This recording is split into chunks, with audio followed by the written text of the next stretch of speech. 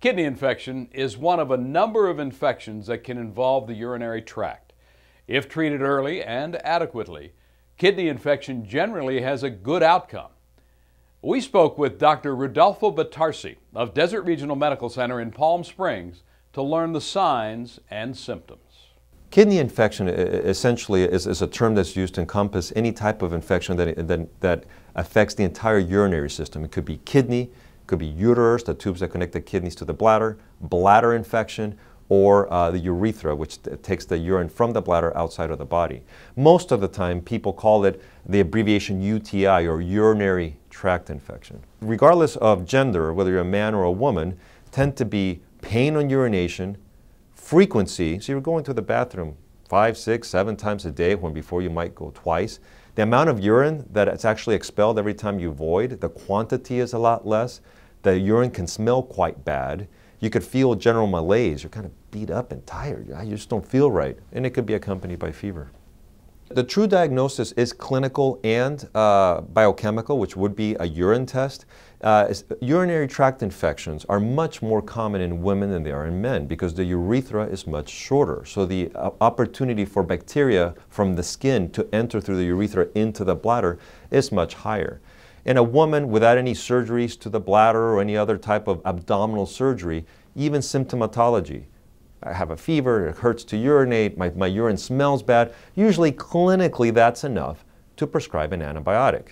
And the antibiotic courses are short. Three days is usually enough for what we call an uncomplicated urinary tract infection.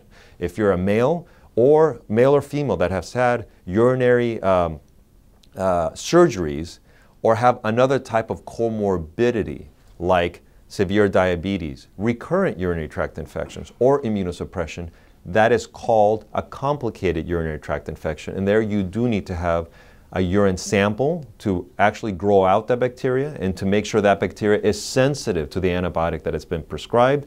And the course of treatment is much longer 10, 14 days, sometimes even longer. Dr. Batarse talks about treatment for the infection.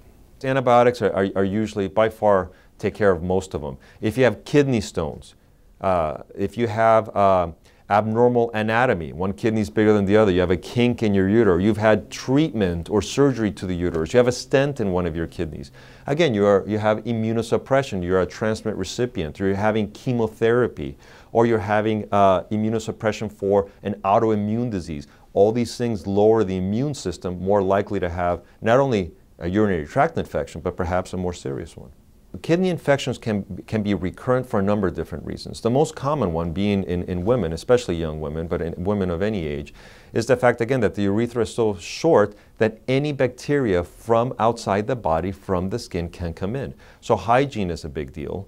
Um, people that go into, uh, take baths for a long time, they have stagnant water, can predispose them to things of this nature. So proper hygiene is of utmost importance if the, uh, the treatment of an uncomplicated urinary tract infection is not long enough, or there happens to be a resistant bacteria, or a bacteria that's more aggressive, then let's just call it the common offenders, then that bacteria can reinfect again, and that's when you need a urine test, not only to diagnose and, and to really grow out the specific bacteria, but to know that you're given the right antibiotic with the correct sensitivities.